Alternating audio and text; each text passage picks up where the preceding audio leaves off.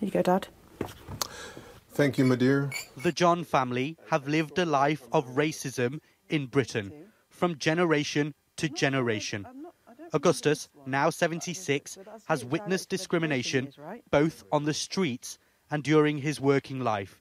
He completely rejects today's findings.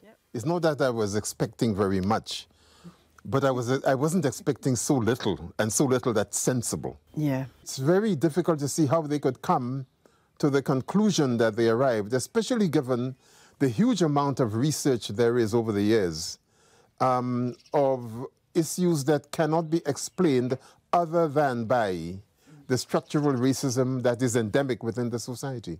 His daughter has had her own struggles and has already started having conversations with her 10 year old. I've had to have discussions with Hope at the age of 10 that no parent wants to have with a child under the age of 16. These images were too powerful for the government not to respond. So Boris Johnson commissioned a team to find out how we can level up inequalities. But even today, there were protests. Students at an academy just a mile from Westminster staged a walkout claiming new rules discriminate against Muslim and black pupils. The school called it an isolated event and are working to resolve the issues.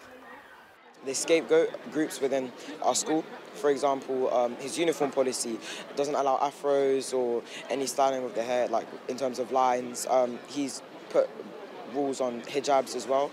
And so, kind of taking the identity away from students.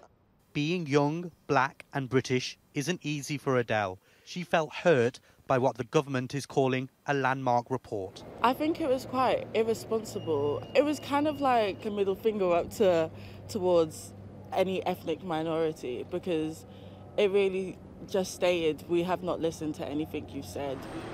The responders giving evidence to the Commission repeatedly described systematic systemic and structural racism. But the report itself concluded that institutional racism doesn't exist in Britain. A question we put to the government.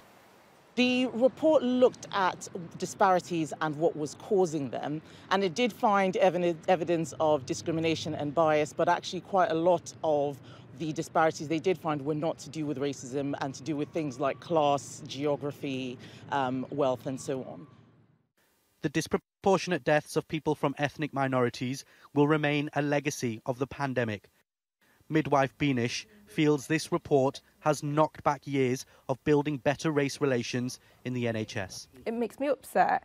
It makes me feel like I don't have a voice. I feel like I've been silenced because I'm trying to care for and make services equitable for the people I care for but it's almost invalidating. The publication of this review was meant to be a moment of tightening divisions, but it's clear there is now anger, disillusionment, and disappointment among those that want to see nothing but solutions. Inzamam Rashid, Sky News.